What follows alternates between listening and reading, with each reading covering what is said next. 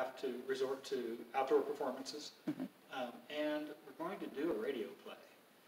And we wouldn't do a radio play if there weren't a pandemic situation.